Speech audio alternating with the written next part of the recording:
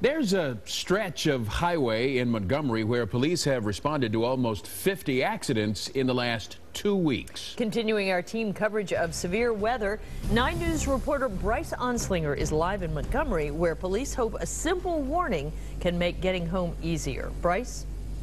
Well, that's right, Clyde and Carol. Following this, uh, the speed listed on signs sounds easy, but police here in Montgomery say far too many people are going too fast when merging from 275 to 71, and that's causing problems for everyone.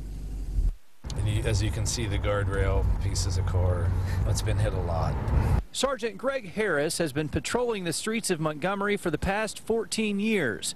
In that time, he's seen too much of this car accidents where the driver is the only person to blame. I think the curve sneaks up on people quicker than what they think. I don't think they pay attention to um, the signage that's there.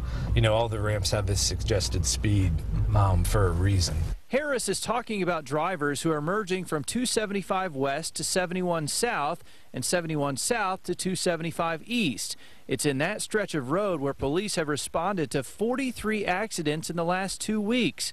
That's more than half of all the accidents in Montgomery during that time. And when an accident happens, the ramp has to be shut down. It's usually too dangerous to leave it open. Um, you know, when you have a car disabled in a ramp, the ramps are, you know, they're blind curves.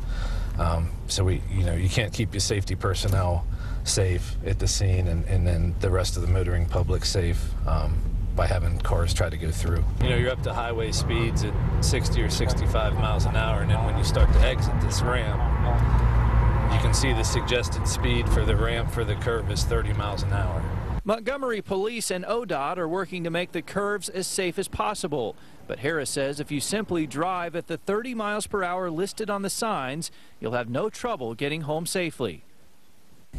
And Sergeant Harris says you need to make sure your vehicle is ready for winter. He says you want to check your tires, make sure they have enough tread and are inflated to the proper levels. Carol, let's send it back to you in the studio. Sounds like good advice. Uh, Bryce Onslinger live in Montgomery. Thanks.